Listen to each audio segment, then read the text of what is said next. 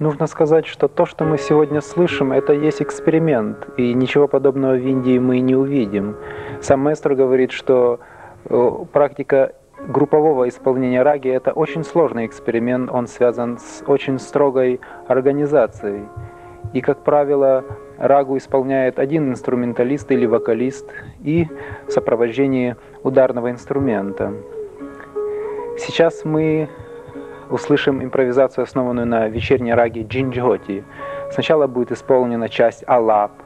Это серьезное вступление, где инструменталист показывает все тонкости владения своего инструмента, понимание самого звукоряда.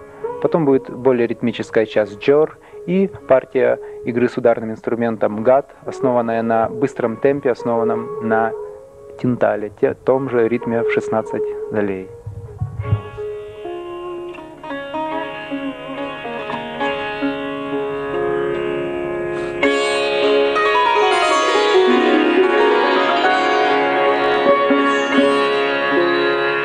Bye.